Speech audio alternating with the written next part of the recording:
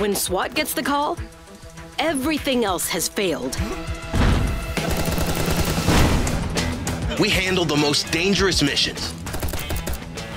Arresting bad guys and saving lives is always our goal. The team is only as good as their weakest operator. Plan and work together to bring order to chaos. Great! Hands up there! From infiltration to de-escalation, Hands in the air!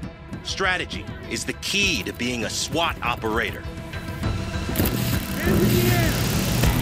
We never know what we're heading into.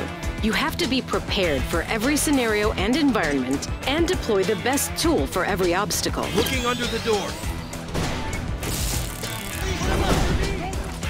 Think before you shoot.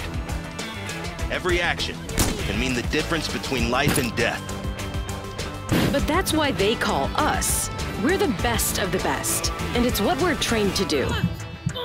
If you have a keen eye and can keep a cool head, then you have what it takes.